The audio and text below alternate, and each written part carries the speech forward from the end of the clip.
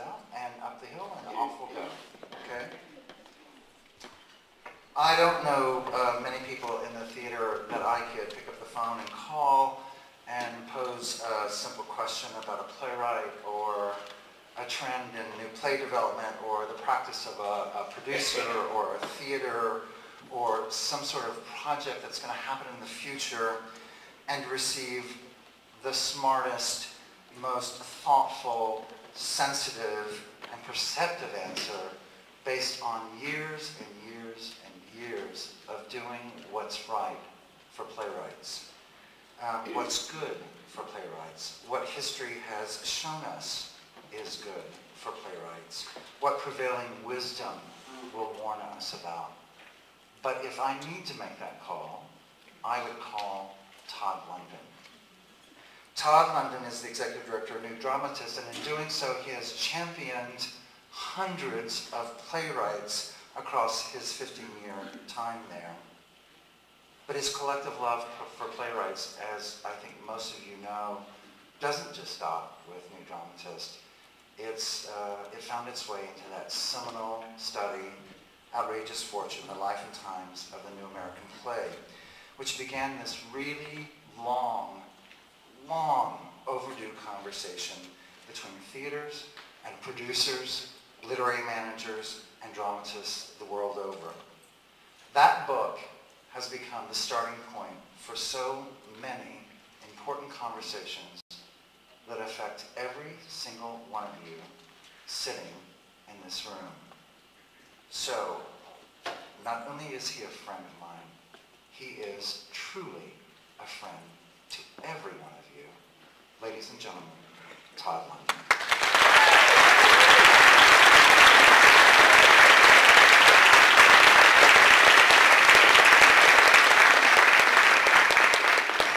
First they make you cry, then they make you talk. Hello, I'm very happy to be here. Um, as you may have noted from Gary's introduction, I'm not a playwright. For the past 15 years, though, I've made a sort of sucker's bet with the theater, staking my ambition and professional happiness, my sense of fulfillment and accomplishment on you. I work alongside of playwrights, keep their company. I run with them, fight their fights, celebrate their accomplishments, witness and pay tribute to their growing bodies of work, Two and a half weeks ago, I married a playwright. it sounds like the uh, title of a 1960s sitcom, I know. And as you all probably realize, uh, living with a playwright is a lot like a 1960s sitcom. Um, I contribute to a column called HowlRound, uh, uh to HowlRound, uh, the new online um, journal that Polly Carl edits out of Arena Stage's New Play Institute. The column's called A Lover's Guide to the American Playwright. I'm not a playwright, but I've come out publicly now as a lover of playwrights. and so I was elated and profoundly honored uh, when Gary asked me to speak at your first conference. I want to tell you what it means to live and work as I do, surrounded by you. I want to give you this lover's guide to American playwrights to let you see some of what I see. When we were researching Outrageous Fortune, Amy Freed, who makes a reckless habit of writing large cast plays, confessed that she enjoyed the feeling of being an anachronism. I feel like I'm making the last buggy whip in America, she said. We are maybe a room full of anachronisms, our hat wagons hitched to an aching old horse, urging the poor beast on with the whips you've made. We are maybe as blinkered as that old horse, in denial of the shiny hybrids and computer-driven rigs zipping around us, ignoring the fact that our lame clip-clop in real time and space may rely on outdated ideas of space and time, when studies show that audiences no longer value liveness, and when we experience time moving every which way all at once, with unity overwhelmed by simultaneity. At New our logo is still a fountain pen. There's a vintage Underwood typewriter on the top shelf of our new play library, as if that old warhorse were the eternal symbol of our profession. I noticed there's a similar machine on the brochure for this conference. We have entered the tweens of a new century, but which century? As many of you know, New shelters a community of about 50 playwrights in an old Lutheran church in Midtown Manhattan. The building used to house, in addition to the church proper, a thrift store and a soup kitchen where hundreds of men mostly were fed throughout the immigrant days of, uh, and depression years of the early to mid-1900s, where their families could find cheap used clothes and presumably spiritual solace. It is now only somewhat metaphorically a mission church for playwrights. We offer writers laboratory space, time, and human support for seven years free of charge. They grow their work there and their artistic selves, and true to the soup kitchen roots, this inspired company of writers feeds each other, sometimes literally. The area, the altar area is now a writing studio with wireless access. The sanctuary and thrift store have been turned into workshop theaters, the soup kitchen is now a library lined with the unpublished manuscripts of many of the nearly 600 writers who have passed through New Dramatists since its founding in 1949. This library, as much as anything, tells the story of continuity, community, and legacy that are at the heart of what New Dramatists does, what the Guild does, and what we are doing here today. We have found on these library shelves such hidden gems as typescripts by James Baldwin and Robert Anderson with their penciled marginal notes. I pulled the mimeo of a little-known Maria Irene Fornés play called The Red Burning Light of the American Way of Life. My favorite find was a stage manager's copy with blocking notes of a full-length play by August Wilson. It had the unfamiliar title, Mill Hand's Lunch Bucket. Checking out the cast list, I realized I was holding a first draft of Joe Turner's Come and Gone. Now the shelves are full of new plays, and 40 years from now, someone will pick one up, an unknown or forgotten play by Nilo Cruz or Lynn Nottage or David Lindsay-Abaire, and she will break into a similar sweat, her heart will pound, and the link will be made again. Your program says this is called After Outrageous Fortune, but I'm calling this speech What a Difference a Play Makes, a title I got from the playwright Marsha Norman when I asked if she knew a good song about playwriting. It was the spring of 2009. We were 10 days away from New Dramatist's major fundraiser, our annual luncheon, responsible for 20% of our budget. The gala takes place in the dazzle of the Broadway ballroom of the Marriott Marquis in Times Square. It's attended by much of the Broadway community eager to be seen at Tony time. New Dramatist turned 60 years old that spring, so we decided to honor one of its first member playwrights from the early 50s, Horton Foote. Sadly, and frighteningly for us, Horton died a few months before the gala, so we were faced with a double problem. One, how to celebrate the most humble of writers in such a glitzy space, and two, how to create an entertaining afternoon while still acknowledging that we had inadvertently staged a memorial service. So I went looking for a song. Horton's grieving family would be with us. We didn't want to do anything to insult his memory or vulgarize his tribute. Maybe a gospel song from one of his beautiful family plays, too maudlin, too Christian. Is there somewhere out there a perfect song about being a playwright? Well, no. Marsha emailed back excitedly suggesting that we write new lyrics to Maria Grever and Stanley Adams' What a Difference a Play a Day Makes and call it What a Difference a Play Makes. As you may have already guessed, we didn't.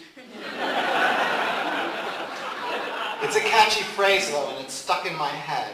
It worries me in the same way that I was worried when I saw the title of the American Theater Wing's recent book, The Play That Changed My Life. Of course, plays make a difference. Of course, if you round up a couple dozen playwrights or actors, they'll be able to single out the play that changed their lives. But do plays really make a difference? And, if so, what kind of difference? To whom? Do plays really change lives? Maybe they once did, but do they still? Aren't these notions a bit hyperbolic, a bit mm-hmm. self-satisfied? Are they the cliches we live by that allow us to do our fun art making with the sense of importance that comes from actually valuable work? I don't know. I love my job. I think playwrights are awesome. I love reading the hundreds of plays I read a year. I like it okay, though not with anything like the intensity I had in high school and college discovering plays by Edward Albee, John Guare, Sam Shepard, Irene Fornes, Amiri Baraka, Lanford Wilson, Tina Howe, and yes, Marsha Norman. I long instead for good movies, long quiet stretches of time with an absorbing novel. I'm hungry for music for my iPod, but I work in the theater. I'm a rabbi in a church for playwrights, and I constantly question my faith. Not in the talent of the writers who amaze me day by day, but in the enterprise itself, this throwback profession whose innate old-fashionedness pricks me every time I say I work for a company with the word dramatist in the name. New dramatists, Underwoods, Buggy Whips. No, I didn't find a song for our gala. Instead, we had playwrights read short scenes by other playwrights, alumni of New Dramatists who had, like Horton Foote, died recently. Our vibrant and very much alive writers would celebrate the dead senior writers, Horton, Robert Anderson, William Gibson, and also their peer writers who had, in the previous couple of years, died painfully young, August Wilson, Lynne Alvarez, John Belluso, Oni Faida Lampley. Would we feel the difference a play makes? Does the difference a play makes pass like a current from writer to writer, one era to another, and so electrify a whole continuous lineage of human endeavor? How appropriate that these questions bubbled up around Horton Foote. It is hard to imagine a playwright more out of step with his times than he is. There is no body of work in the American theater to compare with his. No one has written for so long about so few square miles the concentrated plot of land in Wharton, Texas, that is the land of his family. For nearly 70 years, he tried to stop time by remembering. Like a tender, merciful God, he sought to possess an entire world by loving it ceaselessly. He dared to bring the dead back to life. It is a vanishing world, he writes, the world of these plays. No, not a vanishing world, but a vanished world. Think sometimes that Randall Jarrell speaks for me in his poem, Thinking of the Lost World. All of them are gone, except for me, and for me nothing is gone. Nothing is ever gone, Horton Foote proves, as long as there are people to remember, to write it down. Nothing can be lost as long as there are artists brave enough and persistent enough to try and capture the ephemeral grace of our lives. But is it true that nothing is ever gone? Is it possible that plays themselves are disappearing, that dramatic literature itself will go the way of the satyr play or burlesque or the living newspaper? And if we mean to keep on keeping on, what are we doing it for? What are we preserving? Robert Anderson, author of Tea and Sympathy and I Never Sang for My Father, also died that year. Throughout his five-decade writing life, he kept a note taped to his typewriter that said, nobody asked you to be a playwright. How do you respond to that cold water truth? The same way Bob Anderson did, and Horton, and hundreds of other playwrights have. You respond by becoming the perfect version possible of the thing that nobody asked you to be. You respond by writing those plays nobody asked you to write, that no one may ever produce. You respond with the crazy, obsessive, beautiful bravery of the artist, cultivating a garden that no one may see and that no one may ever want to walk with you. You find your faith where you can. You hope the world will meet you where you live. This is, by any stretch, a foolish hope. The world, in the most consistent and practical ways, has no intention of meeting playwrights where they live. I don't have to tell anybody in this room where the energy of our culture and the attentions of our young are directed. We have good cause to worry the marginalization of theater and playwriting. Even the American theater doesn't care to meet playwrights where they live. For the past 40 years, our theaters have spent considerable money, energy, and person hours on the cultivation and production of new plays. They've hired large administrative staffs, built monumental buildings. For all their organizational energy, however, these theaters have proven unable to create sustainable structures for supporting writers over time, for what Molly Smith yesterday called a dignified life for playwrights. Bodies of work like Horton Foote's are almost inconceivable today.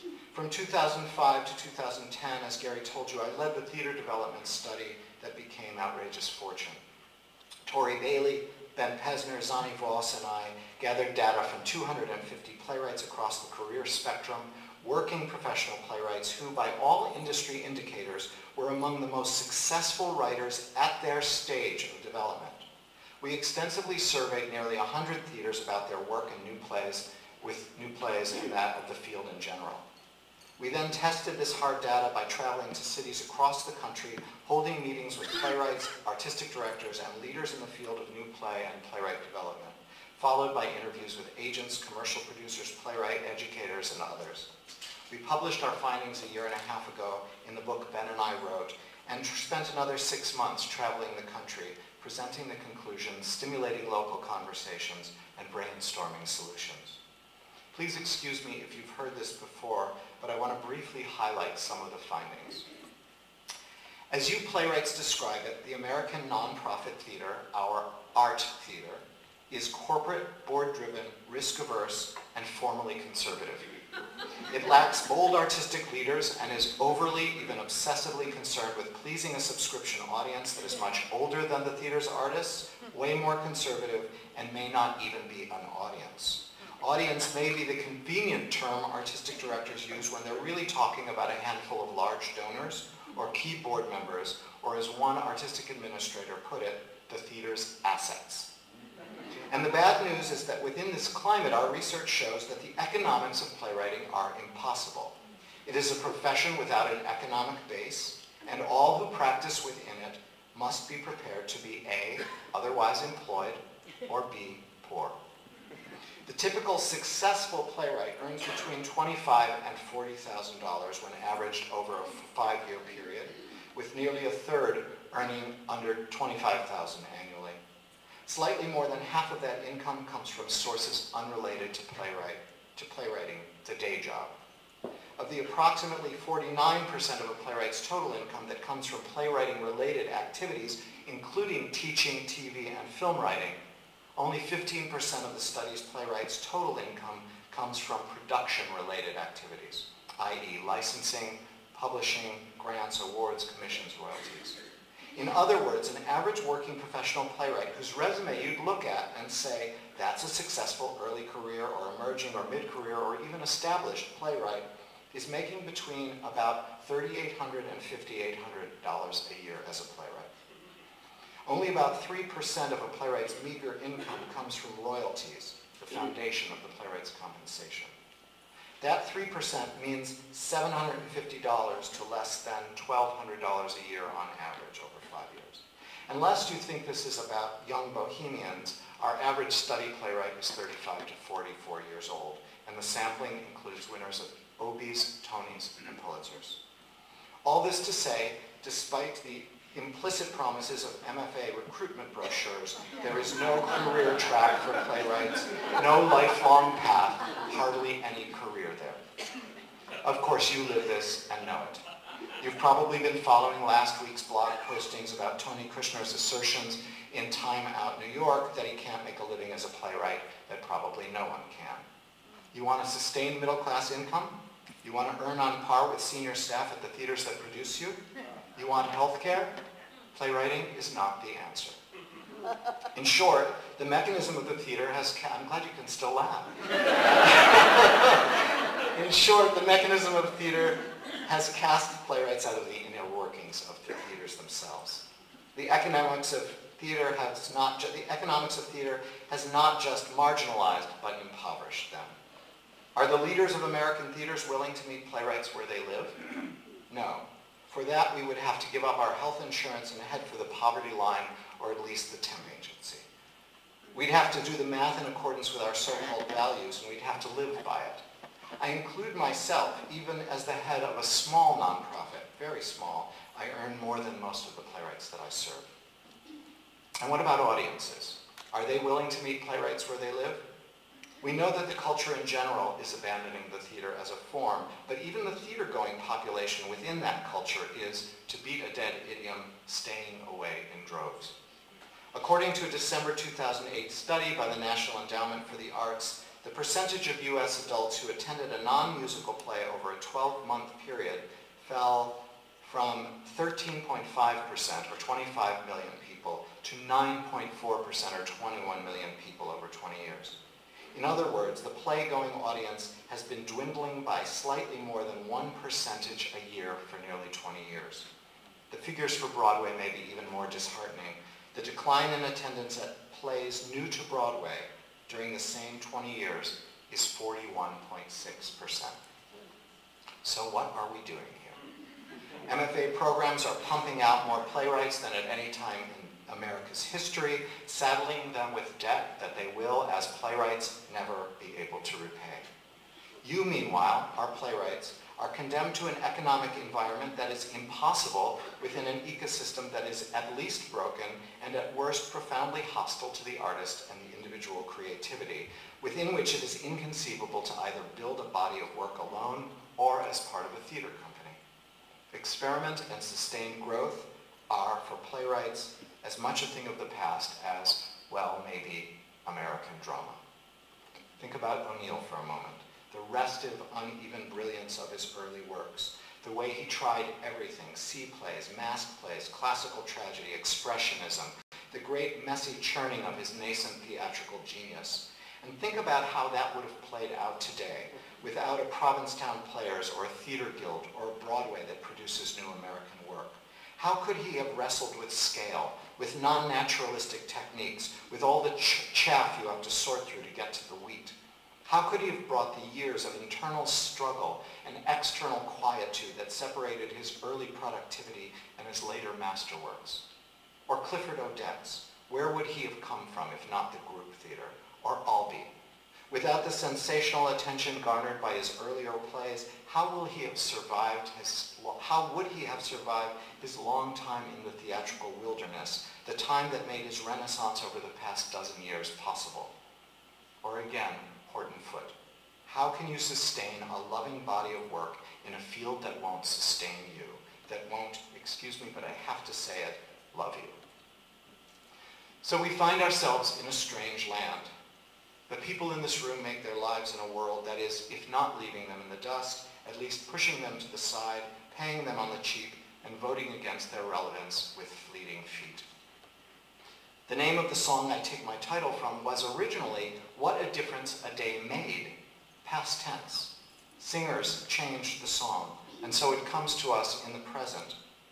Is it possible that the difference a play makes is also past tense, that plays made a difference? In the days of Miller and Williams, the early primes of Hansberry and Albee, the first explosive years of off-off-Broadway, but that the present is too imperfect that the present of playwriting is a thing of the past.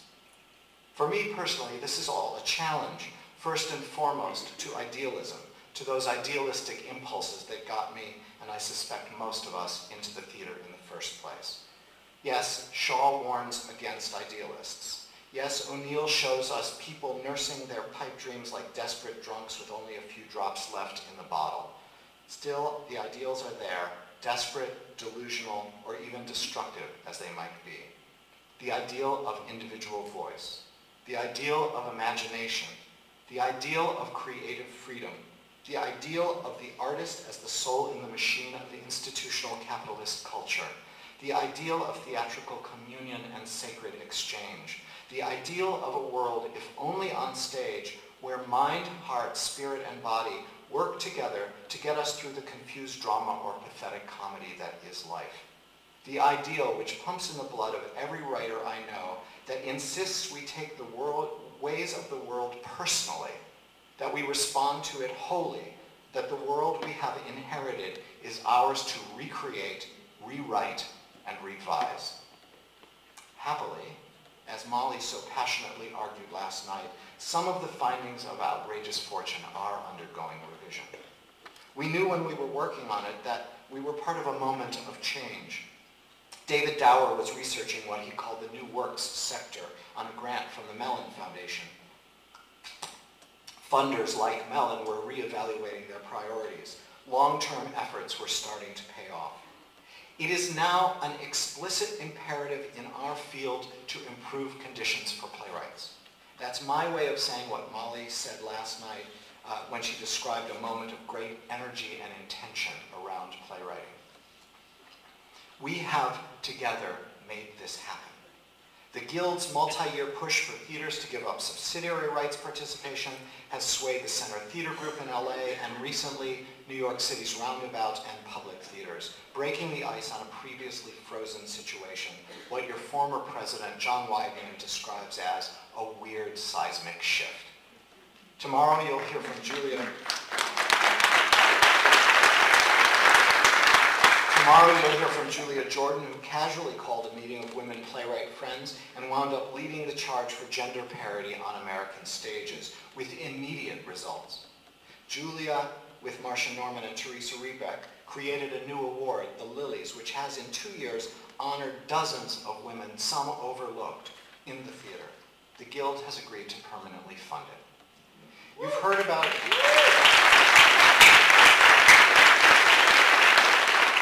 I hope I'm right, or now I guess they're going. You've heard about Arena Stage, one of our first regional theaters embracing its historical responsibility to lead. Five playwright residencies for three years with salary, health benefits, housing, budgets of their own, the commitment of at least one production, a thriving new play institute hosting five national convenings, each leading to actions of their own. As a result of one of these convenings, two separate Black Play Festivals were launched by playwrights in a single year.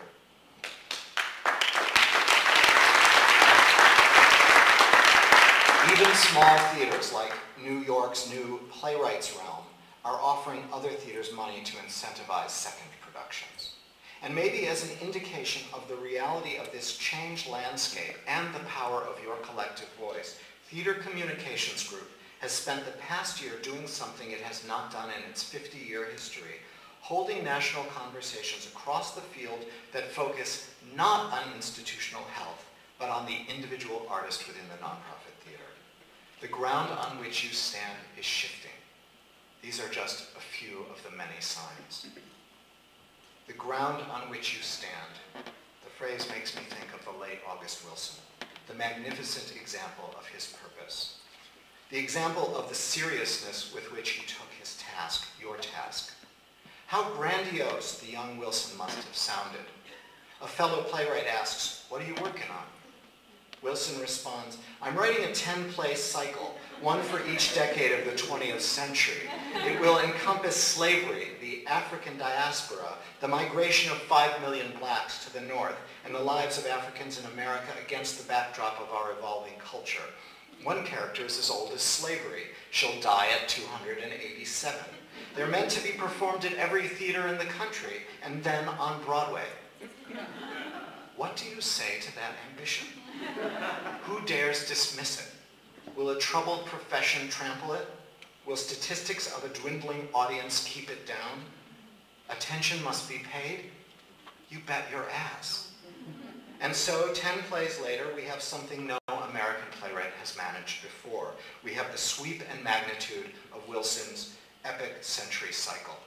We have his panoramic collage of Holocaust horror and celebration of strength, joy, and resilience, what he calls the highest possibility of human life. Where do we look for inspiration? Where do we look to pump up our ideals in hard times? Because the fates marked me down as a theater geek, I look to playwrights. Because we know, as every child knows, that when you stare at a thing, it grows larger. A flower, a face, a play. We are, among, we are among those people who stare at plays. And when we do, the machine of the culture quiets and the soul in the machine speaks. The institutions that were once the hope of the American theater and that are now its well-intentioned 800-pound gorillas shrink in importance. Individual talent sizes up. The institutional theater isn't evil at all. It's misguided. It created important new paths and then inevitably got lost on some of them.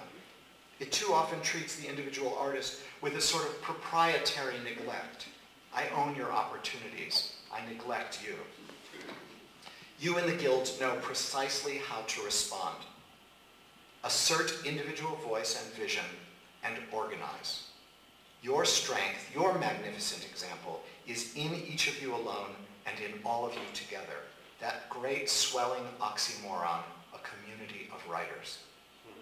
I lived with playwrights for seven years, watched them grow bodies of work. It's my way of staring, And when I write about them, when I celebrate the living or eulogize the dead, I touch something, even if I can't completely understand it. This something is the difference their plays make. This something has to do with freedom. It's the only word I have for it. It's the thing about which playwrights have taught me the most. I've learned about it from the size of August's people, people, the things they carry, the selves they carry, despite the constriction they labor under. I've learned about it from less well-known playwrights, from adventurers like Carlyle Brown and Liz Duffy Adams, from the exuberant maximalist Glen Berger and the architectural minimalist Melissa James Gibson, from Octavio Solis, Diana Son, Eric Ehn, Stephen Guirgis, Marcus Gardley, Doug Wright, Karen Hartman, Luis Alfaro, Lisa D'Amour, Daniel Alexander Jones, and Annie Baker, all exquisitely, adamantly themselves. Lynn Nottage's refusal to write in a single voice. David Grimm's refusal to tame sexuality. David Greenspan's refusal to be anyone but David Greenspan. You are slippery, free-thinking beings, you playwrights.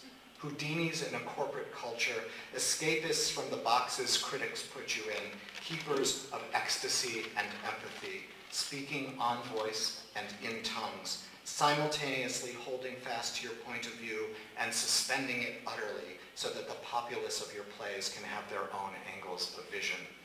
You are slippery because you strive after freedom, knowing, and this I have learned from you, that freedom is a practice. You can aspire to it, but never attain it.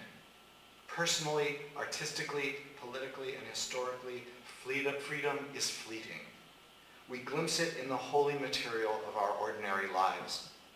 Art makes us happy because it gives us a glance at our potential for freedom. You are slippery and you teach me freedom, but not because you are free. You are not. You are, like all writers, plagued by bitterness, which is the real enemy and which threatens even the most talented and enthusiastic among you. The poet Robert Kelly put it perfectly. Bitterness has killed more poets than neglect and poverty combined. I wish you release from bitterness. You aren't free because you're forced to spend so much time thinking about money. You aren't free because of the double whammy of neglect and lack of resources that breeds envy, an envy that fuels that killing bitterness. I wish you release from envy. You aren't free when you remain passive, blaming the faults of the theater on everyone else instead of asserting your natural role as leaders in the field. Playwrights have historically been leaders of theaters and capital T theater, and I pray you make it so again. No, I don't pray it. I exhort it. You have the facts in front of you, the economic facts. You generally and genuinely share a critique of your field. You know which way the wind is blowing, and you know what's getting lost in the wind. On the other hand, you have before you examples of do-it-yourself playwrights, from Aeschylus to young Jean Lee, Richard Maxwell, and a pair of Chicago 20-somethings, Chelsea Marcantel and Laura Jacqmin. You have before you examples of playwright leadership from Shakespeare and Moliere to Emily Mann, George Wolfe, and now Chay Yew. You have examples of playwrights' generosity to other writers, from Edward Albee's foundation to the teaching devotions of playwrights like Paula Vogel, Mac Wellman, Charles Smith, Naomi Iizuka, and Marsha Norman. Excuse me. You have examples of the collective power of playwrights, from the Playwrights Company on Broadway in the 30s to 13P in the Workhaus Collective today. You know playwrights working in ensembles, Kirk Lynn of the Rude Mechs, and playwrights who work in communities like Alison Carey and the dozens of Cornerstone playwrights who followed her. You have playwright bloggers shaping the field's debates. You have your playwright idols, mentors, and goads. You have each other. And you have power. You just have to use it. Passivity and blame, defaults of the creative life in a market economy, are irresponsible. They are the squandering of gifts, which to me is the unholiest of holies. New Dramatists was founded 62 years ago by a disgruntled playwright after a frustrating meeting at the Dramatists Guild. this unknown playwright rallied the guild leadership, Howard Lindsay and Russel Crouse, Moss Hart, Rodgers and Hammerstein, Maxwell Anderson, Elmer Rice, Robert Sherwood, and others. Her name was Michaela O'Harra. You don't know her plays, but her founding has, vision has served more playwrights more lastingly than any one theater in our history. What will you do with the gifts of this weekend? What will you begin? What will you make happen? One of my favorite playwright tributes was written from a living playwright to a dead one, from John Guare to the visionary Thornton Wilder. Guare goes in search of the essential Wilder and finds two of them. Guare writes, Wilder reminds me not of one, but of two great American poets, William Carlos Williams and Ezra Pound. The problem that confronted them in their youth was where to go for experience to feed their art. Williams stayed in New Jersey as a doctor and found his source of experience there. Pound fled to Europe to leap into world culture. Like a man who contains the spirit of his lost twin, Guare tells us, Wilder found in his life and art, quote, a way to live in his bifurcated world, staying at home and roaming the world. Guare finds the distinction of Wilder, the doubleness of his way of seeing. Maybe this is the kind of difference we make when we stare at plays, when we stare at bodies of work. Difference in the sense of differentiation. Difference, then, the assertion of individual voice and vision becomes the leading edge of a life or death struggle against homogeneity, against institutionalization, against monoculture. Difference guides us to the abundance and profusion, to the glorious diversity of all living things. But here's the really beautiful part of Guare's tribute. Having located Thornton Wilder's distinction, his double distinction, Guare follows Wilder's own example and connects him to all the playwrights before and since. Remember the, the philosophers and skin of our teeth. Guare again. Take the image of the parade of philosophers from Pullman Car Hiawatha and the skin of our teeth, and imagine that parade not of philosophers, but of playwrights, from Aeschylus on down through Plautus and Hroswitha, and Calderon and Marlowe and Webster and Dryden and Behn and Strindberg and Shaw and Wilde and Pinero and O'Neill and Hellman and Orton and Albee and Hansberry and Shepard and Mamet and McNally and Wilson and Kushner, to every member of the Dramatists Guild, and to the next class of playwrights leaving Yale or NYU or Juilliard or whatever drama school or no drama school. Hear each generation saying, finish my work. Finish what I started. These are the questions I leave behind. What a brilliant gesture.